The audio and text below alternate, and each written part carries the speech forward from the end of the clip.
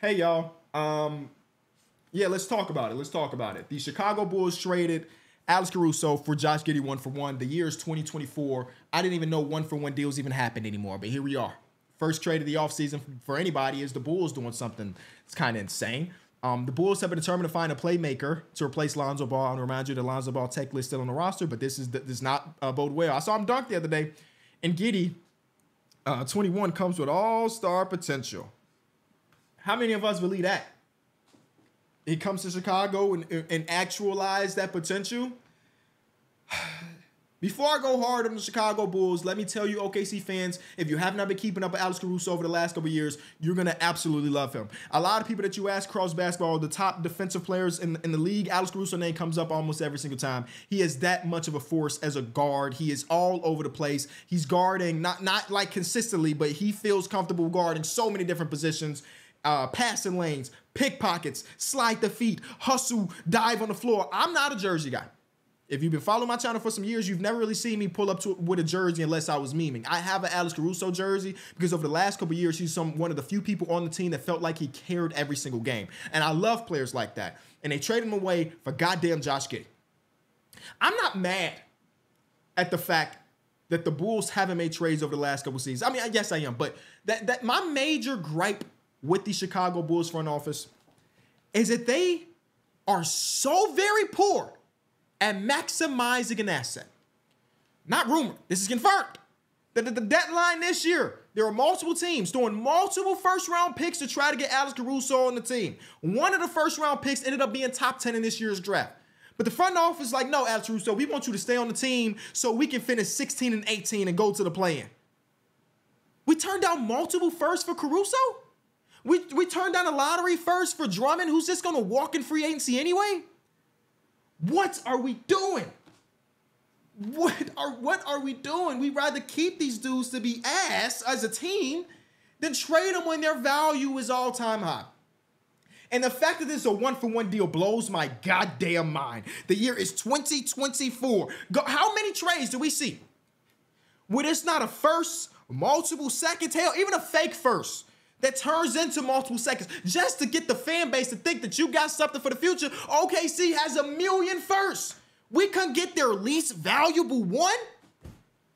I mean, Sam Presti has been notorious for trading players before they hit restricted free agency if he doesn't believe they're part of the, their long-term future.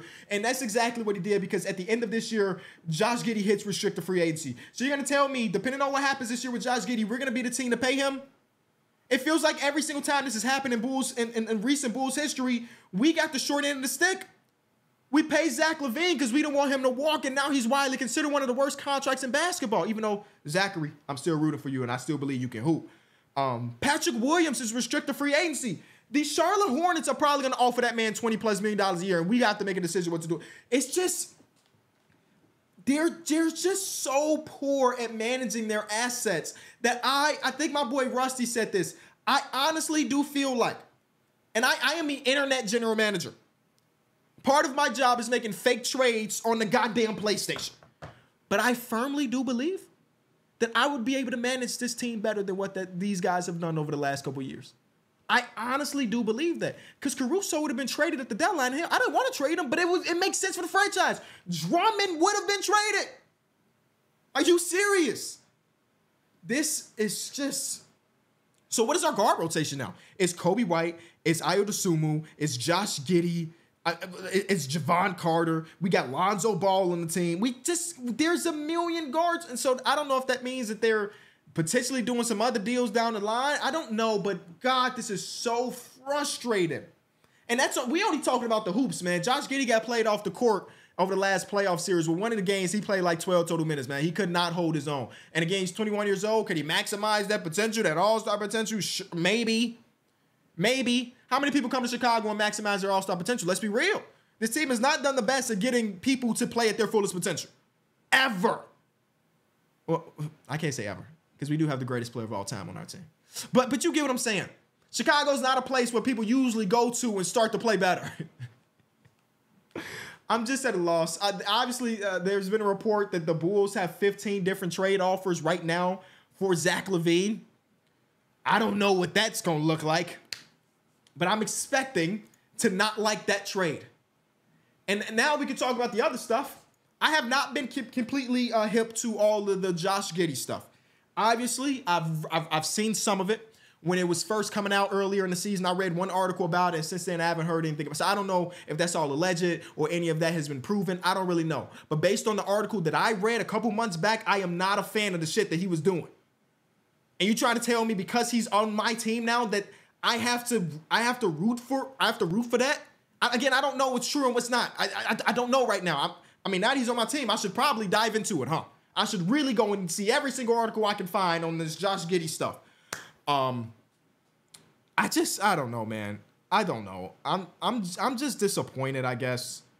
Um, and I'm not even like I can understand some people like Kenny, you can't have it both ways. You can't tell them at the deadline to make some deals and they finally do some deals, you're mad at it. And I would say to that, yes, I can.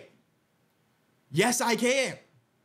Alex Caruso is one of those dudes that I, bet you there are other teams across basketball. Um, um, the, the 76ers, the Bucks, the Warriors. I could go on and on. These are teams that are probably pissed that they didn't get in on the uh, Alex Caruso, Caruso stuff. He's one of the people that if he was available, many teams should have been calling. And the Bulls are going to do this thing. And here's my here's my prediction. Here's my prediction. I don't know what's right or what's wrong. You think about trading a 30 year old guard and Alex Caruso for a 21 year old guard and Josh Giddey. That in, in your mind, you think that, okay, that means they're about to take a step to the rebuild. My prediction is they're about to try to teeter.